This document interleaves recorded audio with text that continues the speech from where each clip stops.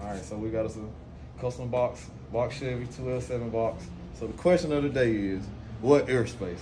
This box right here, they getting roughly three cubes a piece. That's minimum, but it's still within the, it's in the, it's in the green still, ain't the red. You know, you got your small and you got your large. These right here, small side take three. On the high side, they take six. Man, it sound good, but me, I would have did the 12. I begged them to do it, but he wouldn't. People think bigger speaker, you know, but that ain't how it works. You need, you need proper airspace, man. Airspace, baby. That's it. But it's smack. You'll see the videos loaded up later, fellas and, and, and ladies. I can't just say fellas, you know, girls like the bass too, so. And, and put your put your number out there and and, So what's, and, what, and, and let let them know what's what's the name of your, your box company and stuff like that too. My box line, RCD, enclosures. And what's the contact number to where they can call you and get in contact with you because the video is gonna be on Hit me on YouTube. my Facebook. Facebook is my go-to. So Ricky Collins on Facebook.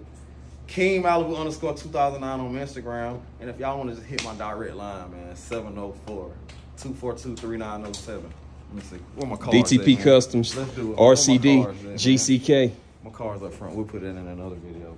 Yeah. But this is what I wanted to show y'all, man. We we do custom built boxes, we do amp racks, we do car lifts, truck lifts, everything. Custom So wheels, LEDs. You want a full detail? Come over here, man. Look at this thing. Let them see what's finna. This is right here is finna go console, wheels, trunk. Stay tuned. 69? What year this car? I believe it's a, no, it's not a 69. It's a 76. I keep getting that mixed. I'm sorry, guys. 76 Cadillac Eldorado convertible in the making. It's gonna go crazy. Y'all stay tuned. Y'all follow us and watch this build. Yep, yep, yep, yep. Got some cleaning that need to be done to it. Oh man, she been sitting under the tree, man. She Been sitting for a while. So with this one, I think we're gonna do the Alphasonik 15s in it. We still ain't decided what amp we gonna do yet, but stay tuned with that. But with this car, the Chevy, we got two two Kicker L715s, ported box. Hey Rick, what size is the Hifonics amp? 2K. And we got a Hifonics Brutus 2100 on the subs. And then for the mids and highs, we got a high Hifonics 300.4. In the radio, that's on the inside, is a Pioneer double din.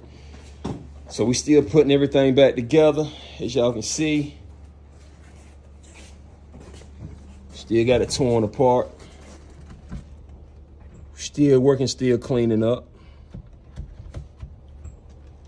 Still messing with the center console. Just something we just put together for the time being. Customer gonna end up, end up bringing it back to us for some more work. But that's it, everybody. Stay tuned. I'm out.